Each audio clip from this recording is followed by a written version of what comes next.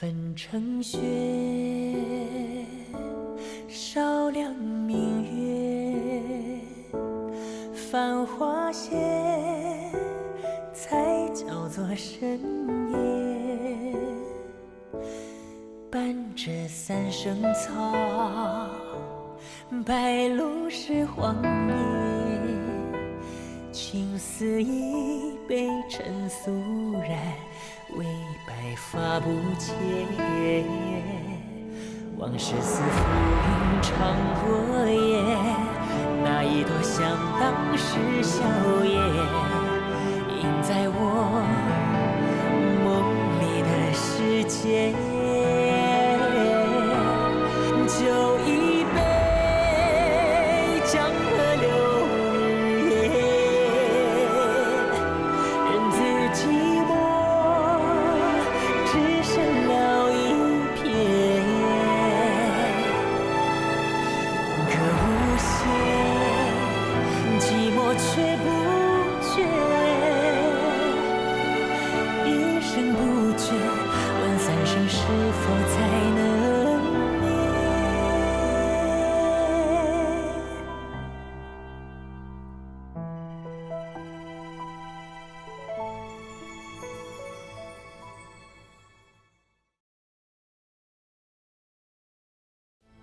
这其中，被此事牵连的，唯一遭受牢狱之灾而致使身败名裂的人，就是秦桑的父亲秦厚生。你说不是因为秦桑赶走傅荣才，还能是因为什么呢？本以为二嫂为了父亲的事情操劳过度，没想到还有精力来管其他的琐事。傅荣才是什么样的人，不用我多说，大家应该都清楚。像他这样的人留在易家就是个祸害，用不了多久，他一定会叛变。所以，就算是为了秦桑，也没什么不妥的吧？我看没那么简单。你就是被秦桑给迷住了。天下间，夫君爱夫人。天经地义啊！你清醒一下行吗？秦桑他根本就不爱你，只是在利用你。他要是知道你喜欢他，他就会把你当成他的奴隶，在你头上肆意的挥舞鞭子。你就这么心甘情愿的被他利用是吗？我们本就是一家人，谈不上什么利用不利用。我看你真是疯了。那我算什么？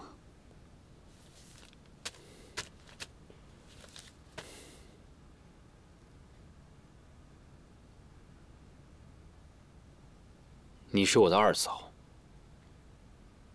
以前是，现在是，以后也是。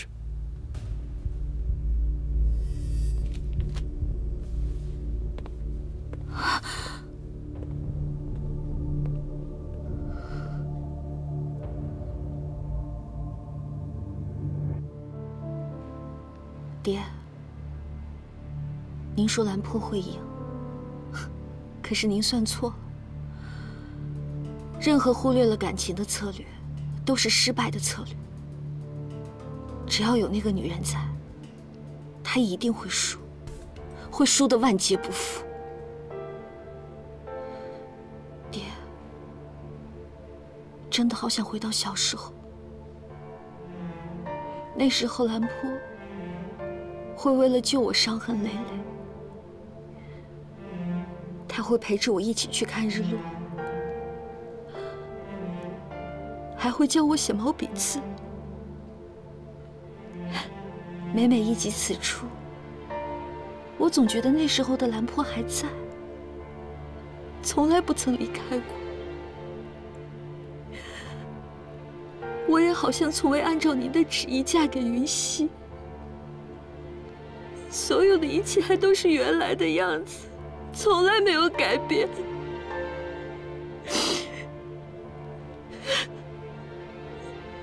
爹，兰婆要什么时候才能知道女儿的心啊？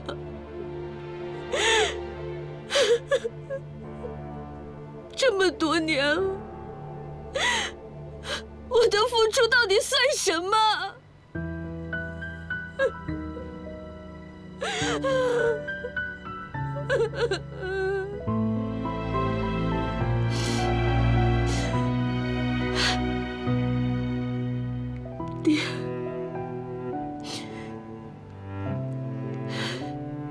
直到你离开，女儿才知道，原来人的一生就是不停的在和相爱的人分别的过程。每个人或许在将来的某个时候，都能体会到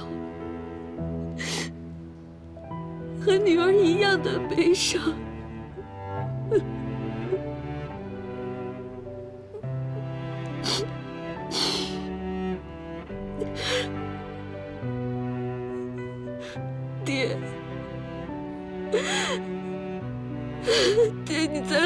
说说话吧。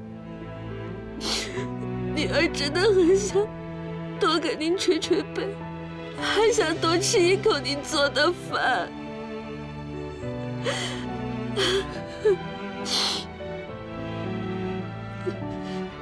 爹，女儿现在真的很后悔，明明就是很容易做到的事情。为什么就是没有去做呢？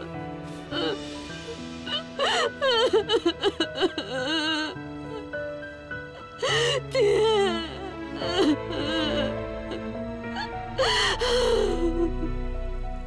从密报上看，傅荣才确实投靠李重年了。接下来我们该怎么办？该来，迟早会来。当年在我手下。我就看得出李重年非等闲之辈。此人善于隐忍，野心勃勃，表面上看起来是个儒雅的教书先生，实则心狠手辣，为达目的不择手段。不过，就目前的局势来看，我们还没有做好最充分的准备。当年一家文胆武胆都在的时候。他李重年是个什么东西？要是你二叔在就好了。哦，今年我已经差人给二叔送过果品了，还代您问候了他。他老人家身体还算健康，只是，只是还要守着祖坟，不肯出山，是不是？算了，强求不得。只能兵来将挡，水来土掩。嗯，危机就是转机。傅荣才投奔李重年，对我们一家来说，也未尝不是一件好事。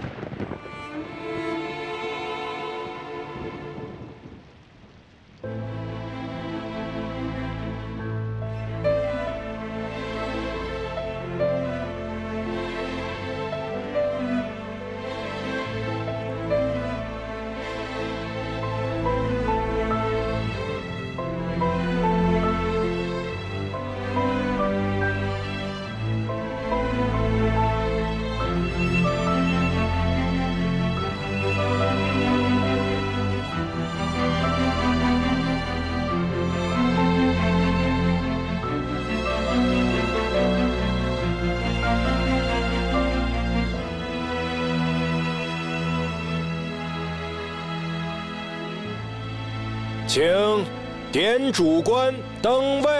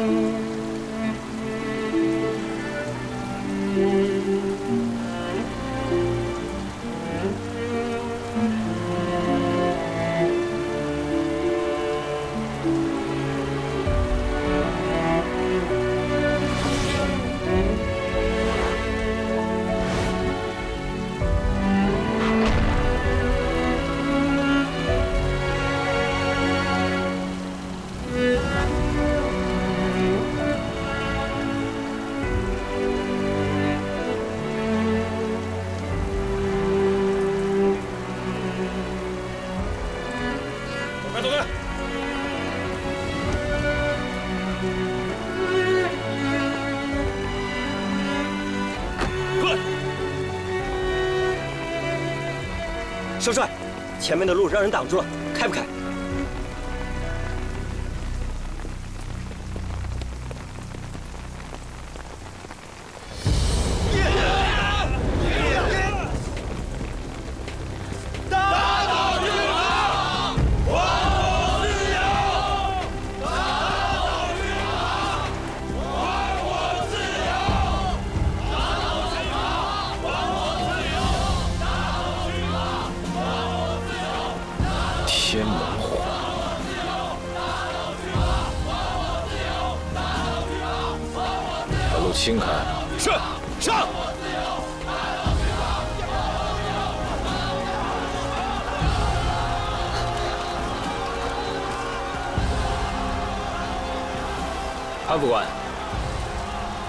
我们下车去看看。嗯，杰泽，你在车上等我，我去看看。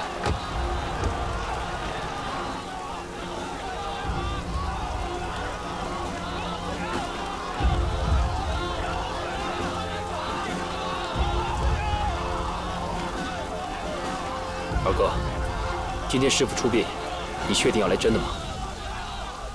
今天我岳父出殡，这帮天盟会居然敢来闹事我没有大开杀戒，只是把路清开，已经算对得起他们了。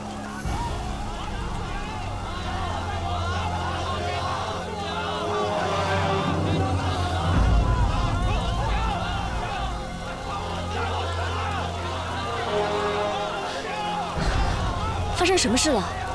前面有人在闹事，二哥在处理了，你放心吧。哦。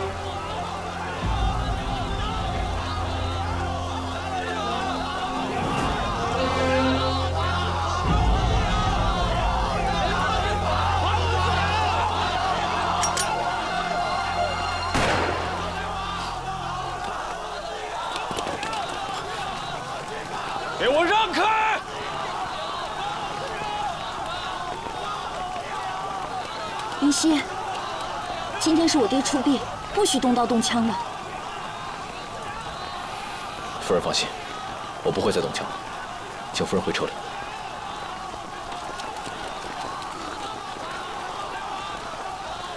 给我往死里打！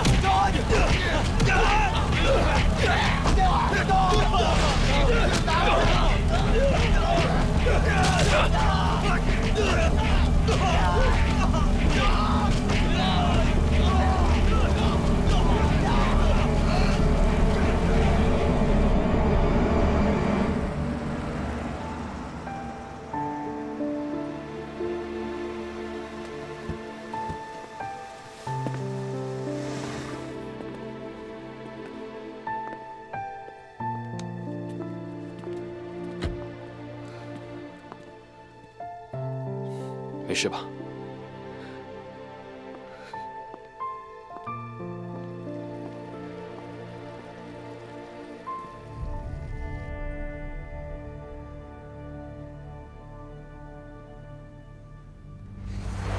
这个是我六弟让我带过来交给你们的。说里面是范先生的遗物。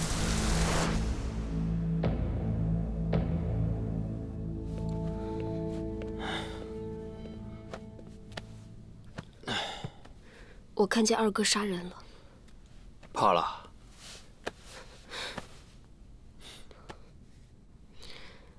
二哥平时成熟稳重，但二嫂也是温柔体贴。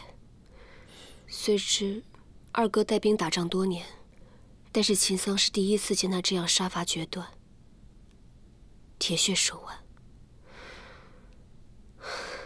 心里不免有些害怕。别怕啊！有我在。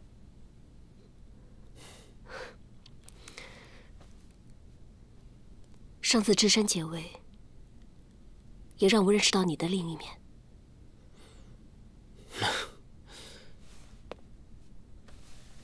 芝山也是迫不得已齐出险招啊，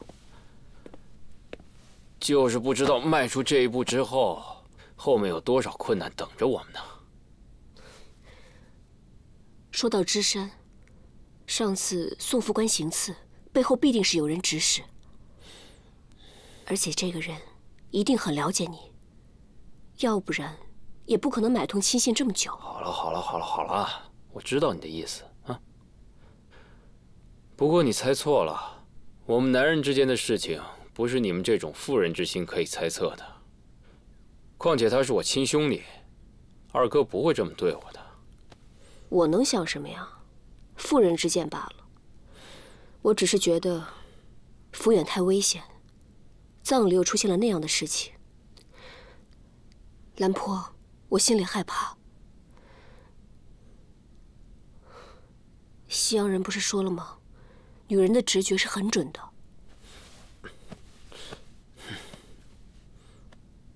你要是担心的话，就尽早带着你父亲离开抚远。那你呢？你这是在关心我呀？我呀，是离不开了。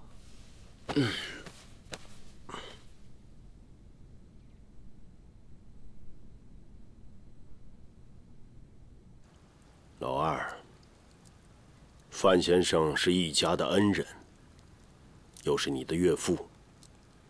范先生知道你这个女婿，为他保驾护航，也算对得起他地下有知。爹，我知道，我今天的举动给您惹来了大麻烦。可是爹，您自幼就教我一个理字：谨于治生死者也。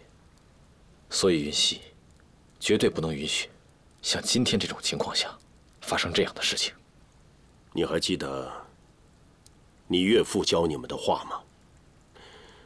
死者为大，出殡的场合，你这样大开杀戒、不管不顾，对得起先生的教诲吗？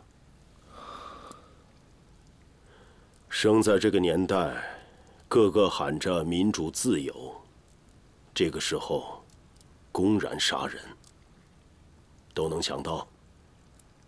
世人会说咱们易家是残暴军阀、草菅人命。爹，范先生教我们这句话的时候，家族内崇礼有序。可今天呢，那帮天盟会天天假借民主的口号，扰的可是咱们江左的民心呢。云溪认为，需要别人来做主的民主，不是真正的民主；需要别人给予自由的自由。也不是真正的自由，就像那帮天盟会，嘴里边天天嚷嚷着自由，天天嚷嚷着民主，他们把民主分为军政、训政和宪政三个阶段。爹，什么才是军政啊？不就是由咱们军人掌握着一切，教他们懂得什么叫做规则吗？话虽如此，不管怎么样，杀人终究不妥。现在这个世道，人心惶惶。像易家这么大的家族，就算你什么都不做，还是有无数人盯着你。何况杀了人，你这样做，定被别人拿来大做文章，给易家带来麻烦。爹您教训的对。云溪不想给您惹麻烦，更不想给咱们易家惹麻烦。我已经写好了辞呈，请求主动辞职，停职在家反省。这样一来呢，是为了让爹您安心；这二来，也算是给社会各界一个交代吧。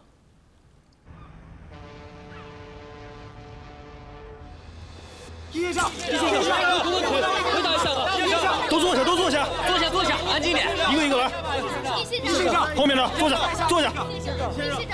易先生，我是申报的记者。关于范先生的葬礼，之所以轰动江左，不仅是因为规模隆重，更是因为当日现场，易家二少爷命令士兵杀人。据知情人士透露，当日所屠杀的都是平民百姓。关于这件事情，您有什么要解释的吗？这位记者，我来回答你的问题。关于范先生出殡当天的事情，我做了仔细的调查。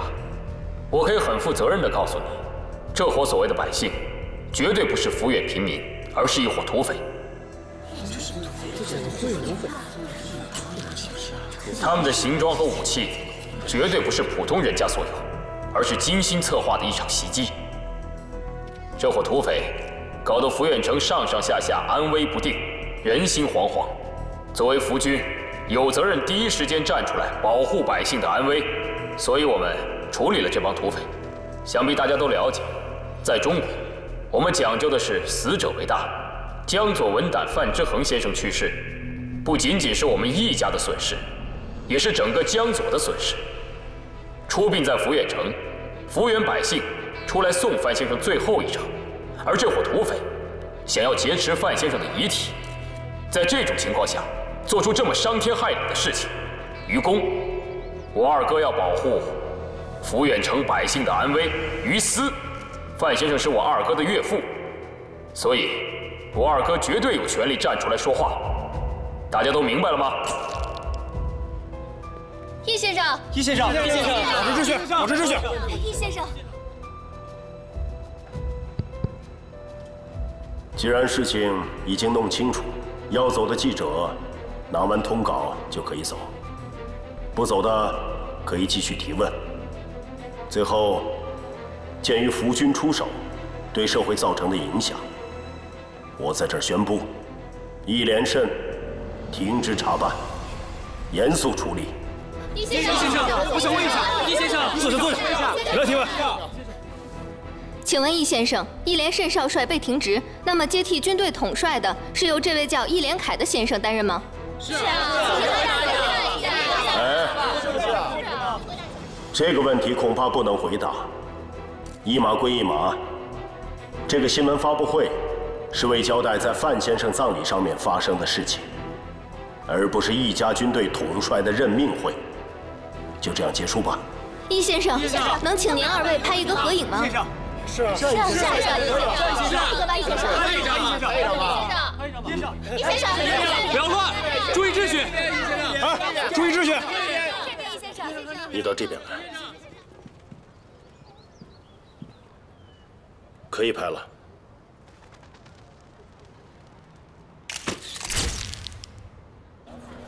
号外，号外，号外，号外！动乱事件形势不明。哎，给我拿一份。先生，今天的报纸。钱拿着。嗯。号外，号外，号外，号外！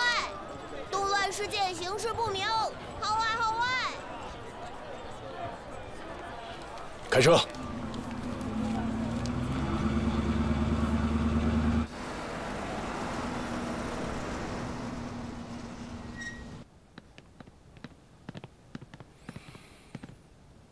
云溪，舅舅。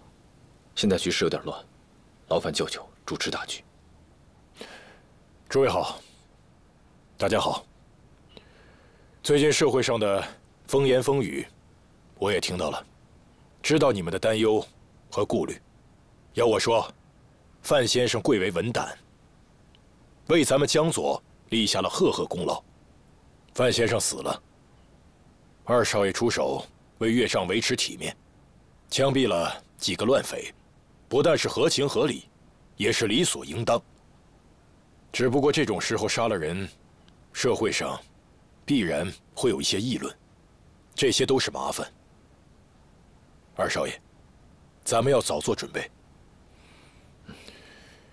依我看，这些记者怎么说都不重要，由这些文人闹去，无非写几个字。有我们的枪好使吗？老爷子也没有责备二少爷，只不过暂时革职在家，就算是避避风头，这些都无关紧要。但是今天开会，老爷子是带着老三去的。老爷子亲口跟记者放话，说少帅要革职在家，反省一段时间。这些咱们不能掉以轻心呐。舅舅，我觉得这件事情无所谓。您想想看，我现在停职在家，这世人的眼睛呢，又都盯着，想要讨一个说法。老爷子这个时候把老三搬出来，让老三挡一下，这是理所当然的。总不能让大家觉得一家没人了，不是？至于那些个记者们怎么说、怎么写，就任由他们去吧。诸位，你们可都是一家的人，在这个时候，这军心可不能动摇啊。可是，没有可是，凡事都有主次。老帅做什么决定，我们只管服从就对了。老帅怎么想的，不是你我能够决定的，明白吗？但有件事情，我倒是要提醒各位：上次李重年吃了败仗，以他的性格，绝不会就此善罢甘休。可偏偏这个时候，又冒出一个天盟会，这分明就是有备而来。这两方面，可都得防着。我这次出手呢，也是为了表明一个态度：这帮天盟会啊，最擅长的就是蛊惑人心。可这人心呢，有时候也需要一些教化和喂养。当然了，我这次出手啊，略显冲动，这才给了他们可乘之机。但反过来想，也起到了催化作用，算是拔苗助长。如果我没有猜错的话。眼下的天盟会，一定急于走下一步棋。他们越是动手早，咱们就越容易把他们连根拔起。二少爷说的有理。这段时间我停职在家，我打算好好研究一下当前的局势。至于军务上的事情，劳烦各位多多费心。舅舅您呢，也多帮帮忙，多帮衬着点。各位啊，咱们都是带兵出身，这练兵带兵之事，万不可掉以轻心。是，遵命，少帅放心。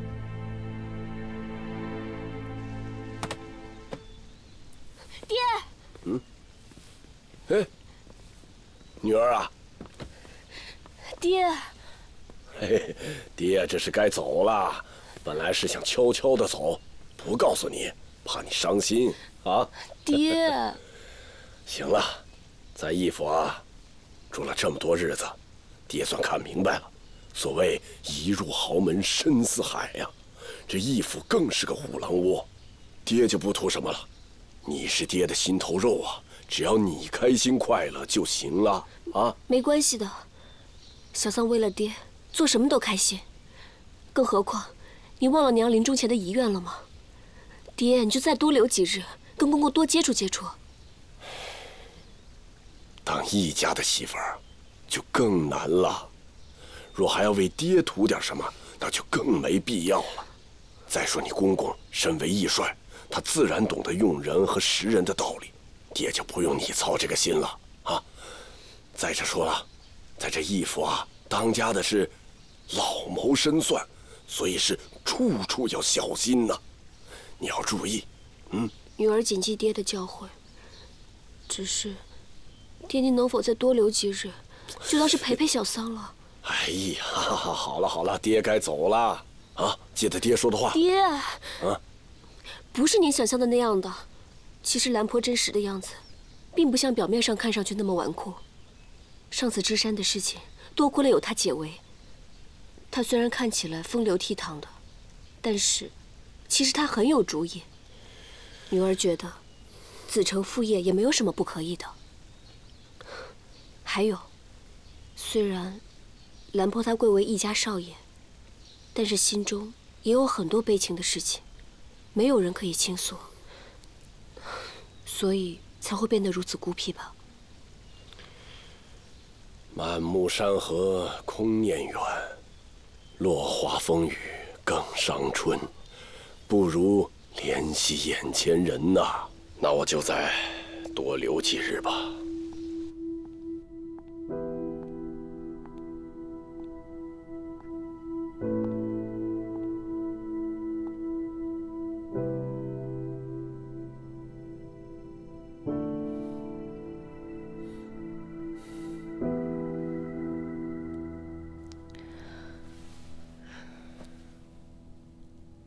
看你平日吊儿郎当、无所事事的样子，这会儿倒是挺认真的。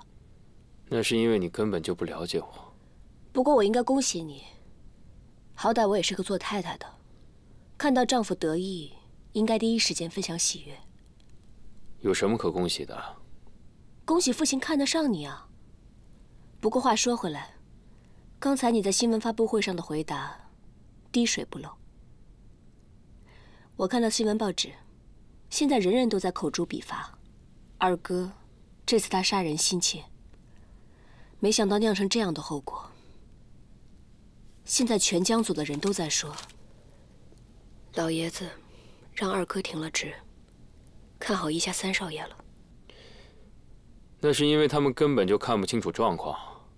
其实爹根本就没想扶我起来。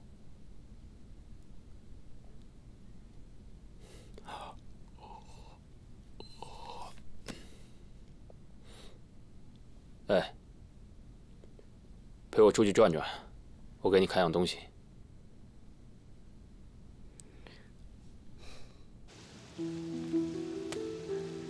结婚两年了，你倒是头一次给我看你小时候的照片。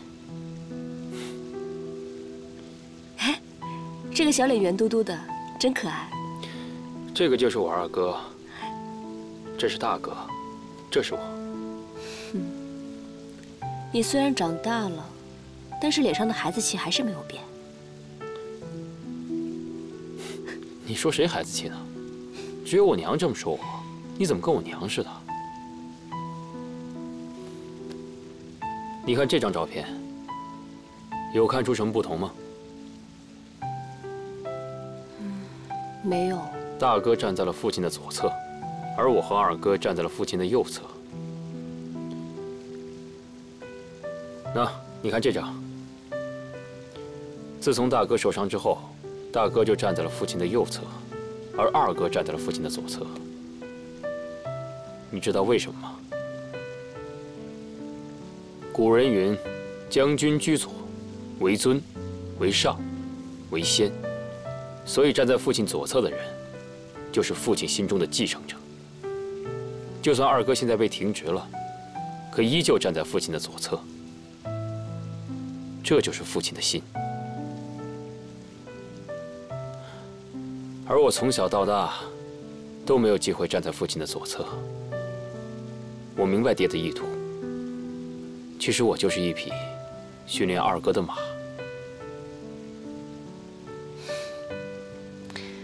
怎么没有看到婆婆的照片？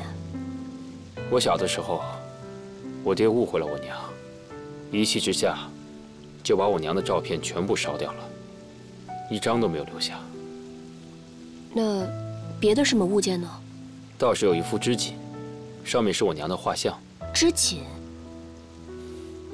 能给我看看吗？这人都不在了，还有什么可看的？早都不知道放哪儿去了。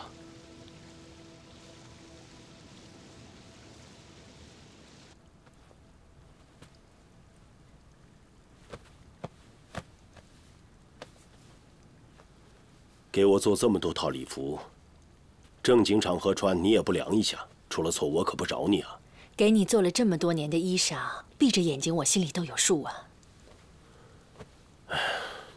我年纪大了，身形跟年轻时候没得比了。你赏我脸，再拿尺子量一次，算我心里落个踏实。义帅既然下了命令，怀秀哪里敢不从啊？我倒想看看，都说易帅老当益壮，是不是自己说的身形尺码变了呀？老当益壮，外人是这么说的。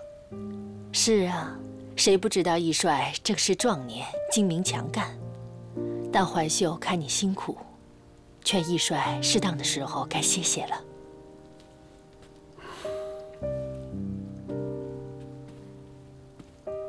我倒是想。可是交班不容易啊！我退下来想太平，江左易家这一大堆事情谁来管？实话跟你说，我都已经很久没有睡过安稳觉了。不放心，大大小小的事情一件都不能含糊，都得我操心。有句话叫“不幸生在帝王家”，我家还没当上帝王，但这一家，老的老，小的小，你争我夺，残了废了，有几个干净的？又有几个能享人间清福啊？我闭上眼睛不管，那得乱成什么样啊？做个礼服，又惹您想起这些烦心的事情。要不要给二少爷和三少爷都准备几套？你看老二跟老三，他们两个谁的衣服更好做呢？在我看来，都可以做。你们一家的少爷个个都是人中龙凤，穿上礼服都是一样的精神。你呀，不但衣服做得好，说话也好听。可惜我不能像做衣服一样，哪个都多来几套。二少爷不是干得不错吗？老二确实大有作为，带兵多年，忠勇果敢，有礼有节，做事上不输我当年。但这个孩子太重情义，做大事的人情义太深，我怕他吃大亏。生在一家，不能有一丝一毫的差池。那三少爷呢？老三聪明，爱玩儿。芝山那回你也看得出来，慕容家的都围住了，还天天在山上这么玩儿。他能忍，敢出险招，心里藏得下事。但老三这个人心慈，他带不了兵，跟老二的命运不一样。不瞒你说。老三只是我给老二的训练马，表面拔捉老三，实则让老二警醒惕力。这样，才能练出一匹良驹。看得出来，你为这两个孩子费尽了心血。但愿他们能明白我的苦心。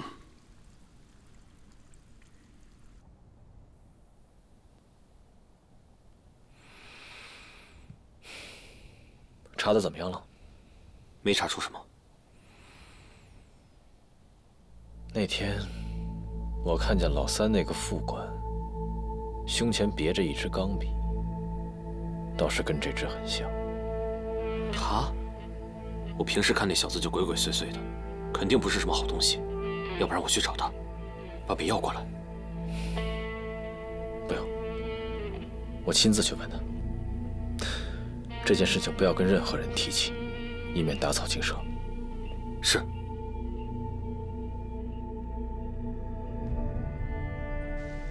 早就听闻啊，咸平一带的针线手艺格外的不错，今日一见啊，果然名不虚传。看看妹妹那小花绣的，真是美极了。大嫂说笑了，我十几岁的时候就去外面上了学，这手艺啊倒是生疏了许多。不像大嫂，贤良淑德。看你这张小嘴。大嫂，哎，烟云，二嫂，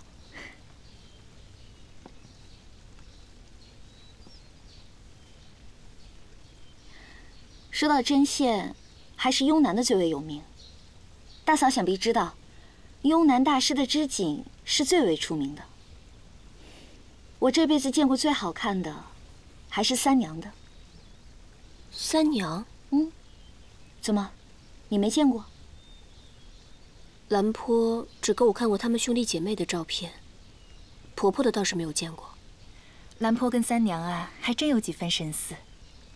只可惜三娘不在了，哎，但她留了一样宝物，可以一睹真颜。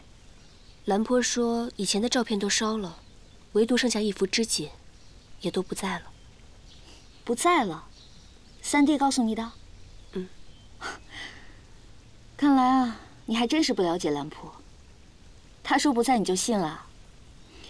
可能他是不想让你看见吧。我可以带你去看，就在那个别院。